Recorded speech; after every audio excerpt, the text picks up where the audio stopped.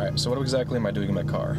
Um, tonight we're gonna go do a full build, like, recap, what I've done to my car, what happened to it, why it had to be rebuilt, and uh, everything that I put into it. We'll talk money, you know, whatever, how much I've spent on parts, the exact reason that it blew up. Um, I've got like a, a plethora of uh, reasons why that happened. Um, so, yeah. See you there. So I'm driving right now, going down to the parking garage to get this video done. Um, almost there. We got about five, ten more minutes. Just got some gas really quick. And uh, yeah, we're on our way. All right, so bear with me. Over here, we have my 2008 Subaru Impreza WRX. Um, I'm gonna go over all the mods, everything I've done to the car, and then from there, I will take you around, do some shots of all the parts. I'll explain why I had to rebuild it. You might hear echo. Sorry, I'm in a parking garage. Um, I'll explain why I had to go through all this shit. All right, so as I was saying, we're gonna go over the interior first. Um, okay. Here we've got a, I, think it's a Turbosmart uh, pillar pod. Uh, we've got ProSport boost gauge, ProSport oil pressure gauge, and an AEM air fuel ratio gauge. This is not hooked up yet because I have not found someone to weld in the bung for me. Um, so that's unfortunate, but you know, it is what it is. I am running a Accessport V3. I've got the uh, Escort radar detector, a Cobb shift knob, some WeatherTech floor mats, and some mats. Don't look over there. Um, and that's about it for the interior modifications. We have the heated seats and Consider from uh, 2008. WeatherTech's an interior modification. I do. They're, it's a good upgrade for any car, okay? WeatherTech floor mats, they're helpful. They keep your carpets in good condition. I also do have this uh, uh, harness bar in the back seat. That's that. What's that? Ultimate Rice. That's for Ultimate Racing. Did you get to your Alright, so front end. What I've done to this. I did a rewire so that I can have my fog lights on without having my daytime running lights or any other lights on. So I can just run fog lights and side markers if I want. Um, I can run just fog lights, do whatever I want to, you know. That was a simple, um, just jump it over to a fuse that's got constant 12 volt all the keys on. Uh, I did the GrimmSpeed license plate relocation bracket, a mock STI front lip. It's from eBay. It's like 70 bucks. It does the job and it looks good. All right, that's all that matters is it does the job and it looks good. Uh, also, we have the STI grill, which is definitely an improvement. I'll insert. Is that Aaron? I think Aaron's over here. Uh, I'll insert a photo of the stock grill. It's terrible, like here or over here, wherever, you know. I'll put it up there.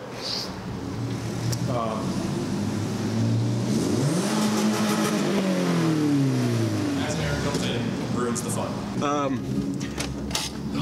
Okay. All right. Let's go over internal mods first, and then we'll work our way up from the bottom. So, starting on the inside of the motor, we've got CP pistons, Manley H Tuff rods. They have the uh, ARP hardware, of course. King XPG bearings, um, then in the heads, we've got Manley upgraded valve springs, stock valves. Um, we had new valve guides installed, new valve uh, seals installed. I built the whole motor myself. I can put like a little time lapse because I have a video of it in the video, like here somewhere. Um, what else? Oh, so yeah, the heads are pretty much stock, just except for those uh, Manley valve springs. That's about it. Uh, I didn't want to go crazy because these heads were kind of messed up after the motor got the rod knock. Uh, the material went through the head, and like there was so much material that went through the motor that after running it, because I drove it home, which was a terrible mistake. Never do that. Just call a tow truck. It's you're better off. Um, I drove it home from where I blew it up, and that caused a lot more damage in the heads because right where the cams ride, it's it's a journal. It's a there's no bearing on the cams, so it's just this metal, you know, metal rod riding on an aluminum block, like an aluminum, you know, head. So what happened was metal went through the oil, but it went through like the, the fills, the fill holes all around the cams and scored out the, uh, like right where the cams ride. So that got polished by the machine shop, but I still think it's got some slight issues because um, it does burn a little bit of oil. I think that has to do with, you know, having forged pistons and actually the type of pistons I have because but there's two types of aluminum when it comes to forged pistons. I don't know the exact names of them, but like one's a 26 something, the other one's like a 40 4032, something like that. It's different alloy types. One grows faster than the other, has less expansion, one has more expansion. These pistons that I have have a larger expansion rate, um, so you have to have more clearance between the piston and the uh, cylinder walls which was almost a mistake for a daily driver, but it's the longevity of a higher horsepower build. You'll get more out of a higher horsepower build with those pistons rather than the other alloy, which I don't know off the top of my head. I'll put it in the description below. Um, all right, next, from the heads, now we're up to the TGVs. Now, stock, these cars have like a little butterfly valve that closes half of the like intake runners off down in here more. You can't really see it, it's dark, but like here, right down there, usually there's a rod with a little butterfly valve. When it's cold, it closes half of it off. It's almost like a choke in an old carbureted car. I deleted that, uh, just better flow, and I kind of port and polished it a little bit. Uh, then from there, working off the TGVs, I have, you'll see better over here, I have IAG fuel rails.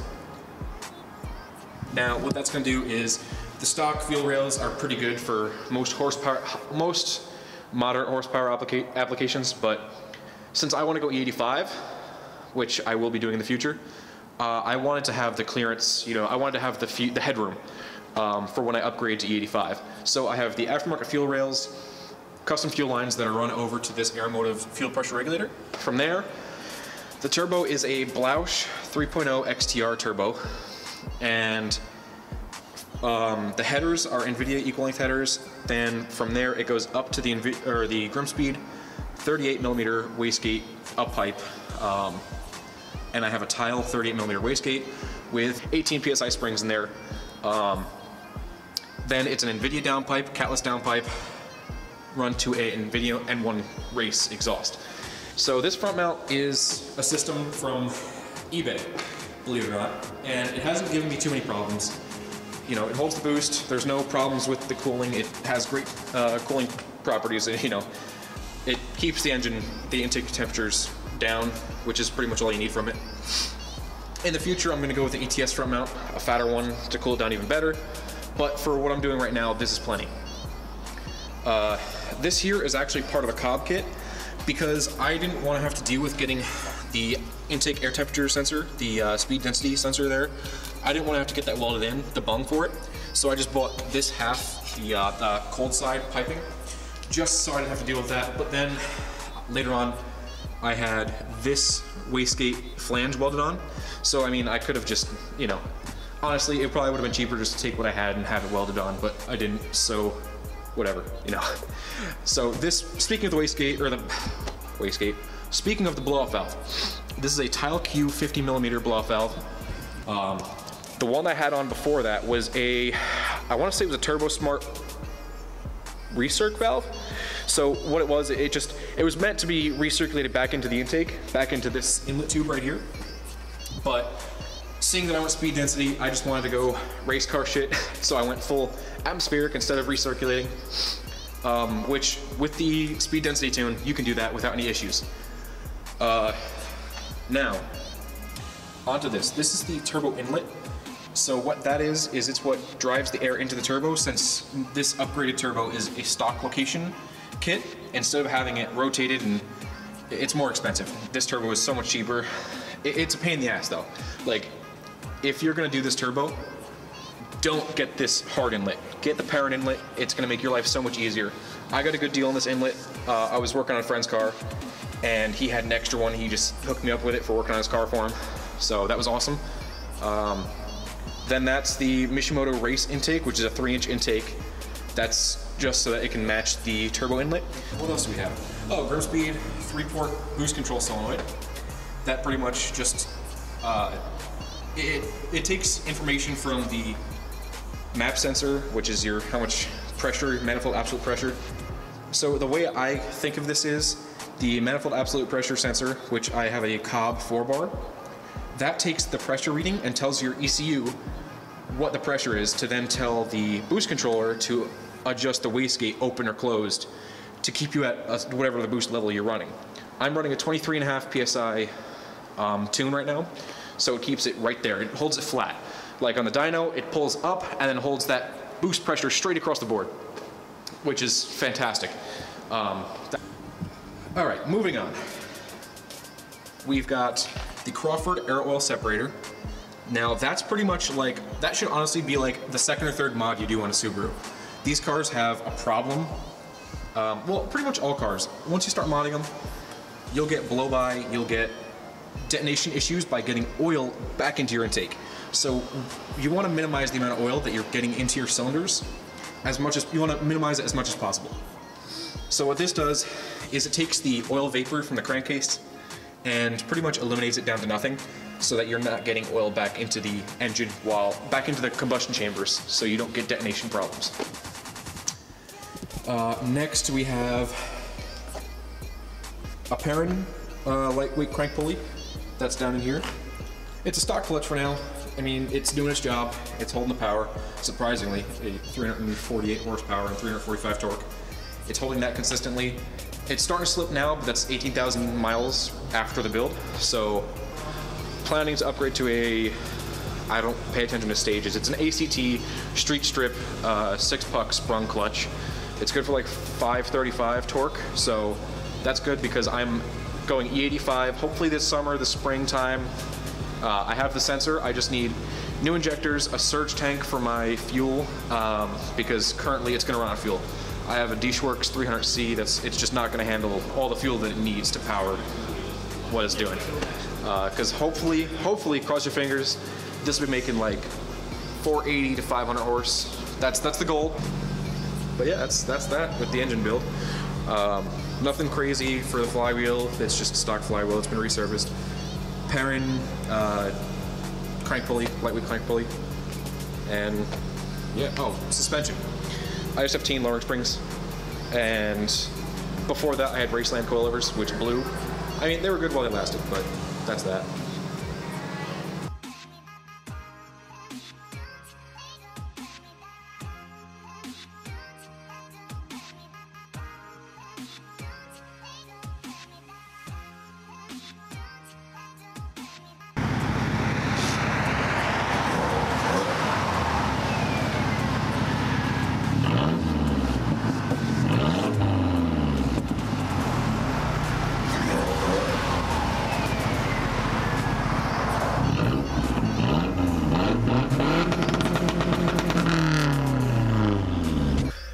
Reason I blew the car up, I was doing flat spins. I remember it so vividly. Like, it was the middle of winter. Me and my friend, uh, we were going, just driving around trying to find places to do donuts in the snow. Um, and first we went to this place my uncle plows. It was like, you know, it was like whatever. I didn't want to bother him, so we're like, screw it. We'll go up to the old high school. So we went to our old high school. We started doing donuts there. Everything was great. You know, I had a I had a blast, and then, you know, and then I just kept going. I I, uh, I was yeah. So I was doing flat spins in like second gear. Um, it was it was a good time, and then I decided to hit rev limiter for a little bit too long. The next thing I knew, I stopped the car and I was like, dude, that was sick. And I heard the rod knock. At this point, I kind of freaked out. I was like, well, I'm fucked.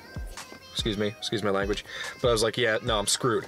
Um, so I pulled the car over and I parked it. And at that point, I, oh God, sorry. At that point, I went and got in the car with Tomaine and we just started doing donuts in the Mustang. About a half hour later, I jumped back in the car because I'm going home. I probably should have towed it, like I said earlier. I definitely should have just towed the car, but I drove it home. It was probably about a 10 minute drive in the snow. It was terrible. Um, I had to say every single stoplight, the car would die. So I had to sit there and feather the gas to keep it running because it just didn't want to keep running. It was really in bad shape. I should have just towed it. I hope you guys enjoyed the video. If you did, hit that like button, subscribe for more, and uh, leave me a comment. I want to hear feedback from you guys. I want to hear whatever you have to say. Any kind of tips, any hints, hints, tips, tricks, whatever. Put it down below so that I can improve the video quality. You know, help me out. Help me help you to enjoy the video more. Um, I love doing it. It's a lot of fun. So just, yeah. Thanks for watching.